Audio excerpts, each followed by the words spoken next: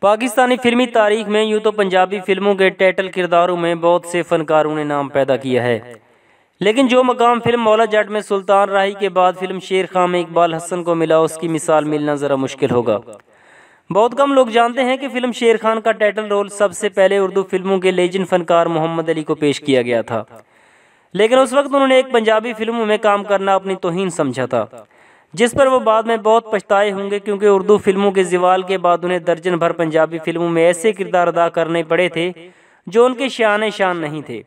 لیکن اللہ تعالیٰ نے جس شخص کی زندگی میں جو لکھا ہے وہ اسے بہرحال ملنا ہوتا ہے۔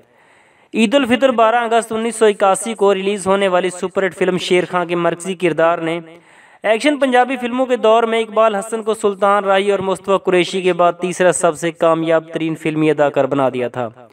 اور فلموں کی کہانیاں ان تینوں کرداروں کو سامنے رکھ کر لکھی جاتی تھیں۔ چودہ نومبر انیس سو چوراسی کو اقبال حسن کا ایک کار حادثے میں انتقال ہو گیا تھا۔ تو پنجابی فلموں کے ان پانچ بڑے فنکاروں ظریف، اکمل، منور ظریف اور سلطان رائی کی صف میں شامل ہو گئے تھے۔ جو این عروج کے دور میں دار فانی سے کوچ کر کے فلم سازوں کو خاصا مالی نقصان پہنچا گئے تھے۔ اقبال حسن ایک کار آمد اور مفید اداکار تھے جو پنجاب کے ایک روایتی گبرو اور دیہاتی جوان کی طرح ہمیشہ یاد رکھے جائیں گے۔ سب سے پہلے انیس سو پینسٹھ میں ریلیز ہونے والی فلم شیر پنجاب دا میں فلم کے ویلن مظہر شاہ کے چمچوں میں ایک ایکسٹرا اداکار کے طور پر نظر آئے تھے۔ یہی صورتحال دو سال بعد ریلیز ہونے والی مشہور زمانہ نغماتی فلم دل دا جانی میں بھی دیکھنے کو ملی تھی۔ لیکن اس فلم کے وسط میں مرکزی فلم کے مرکزی چمچے کے غائب ہونے کی وجہ صرف اور صرف یہ تھی کہ اسی فلم کا ہدایت کار ریاض احمد، راجو اقبال حسن کو اپنی اگلی فلم سسی پونو میں نغمہ اور عالیہ کے ساتھ ہیرو کاسٹ کر چکا تھا۔ ظاہر ہے کہ جب ایک اداکار ہیرو بن جائے تو پھر وہ ایکسٹرا کردار تو ادا نہیں کر سکتا۔ انیس سو اڑسٹھ میں ریلیز ہونے والی اقبال حسن کی بطور ہیرو پہلی فلم سسی پونو ایک نغمہ بار فلم تھی۔ مگر اقبال حسن کی ہیرو شپ کا دور مستقل نہیں تھا۔ کیونکہ اگلے ہی سال ہدایت کار مسعود پرویز کی فلم نکے ہندیاں دا پیار میں وہ ویلن کے کردار میں تھے۔ لیکن اسی سال عالیہ نے اپنی فلم ساز ماں ممتاز بانو اور ہدایت کار بابرشد کاظمی کی فلم دھی رانی میں پہلی بار سولو ہیروئن کا کردار ادا کیا تھا۔ تو ہیرو کے طور پر انتخاب اقبال حسن ہی تھے، جن کے ساتھ عالیہ کی جوڑی بہت مقبول رہی۔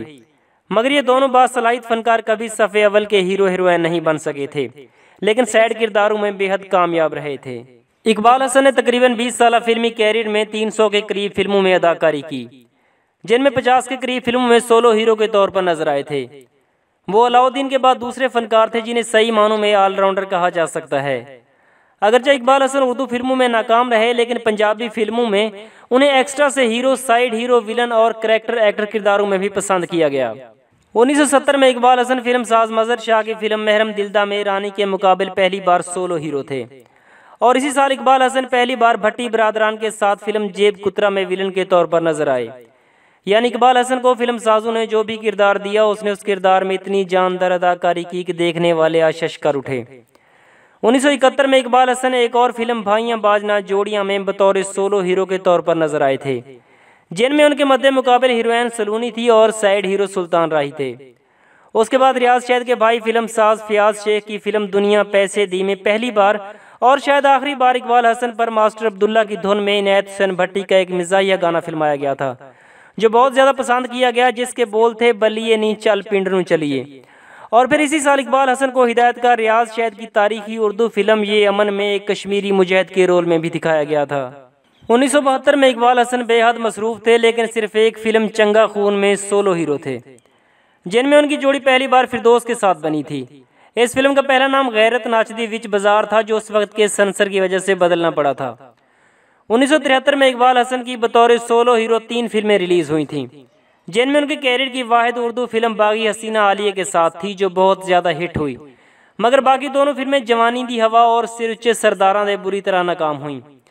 انیس سو چوہتر میں اقبال حسن کی سب سے بڑی فلم ہدایت کار ایم اکرم کی عشق میرا نا تھی، جن میں وہ عالیہ اور وحید مراد کے مقابل ویلن کے طور پر سامنے آئے۔ اس کے بعد انیس سو پچہتر میں فلم جیلر تے قیدی ریلیز ہوئی، جس میں اقبال حسن بطور ہیرو سامنے آئے تھے۔ مگر شیقین فلم نے انہیں ہر کردار میں پسند کیا۔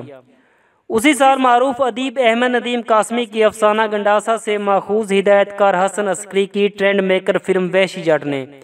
جہاں سلطان رائی کو پنجابی فلموں کی ضرورت بنا دیا تھا، وہاں اس فلم میں بڑا اہم کردار بالا گاڑی کا اقبال حسن نے کیا تھا، جو بعد میں فلم مولا جٹ میں کیفی نے کیا۔ اقبال حسن کو عروج کی بلندیوں پر پہنچانے والی فلم ہدایت کار یونس ملک کی شیر خان تھی، جو انیس سو اکاسی کو ریلیز ہوئی تھی اور کئی سال تک مسلسل چلتی رہی تھی۔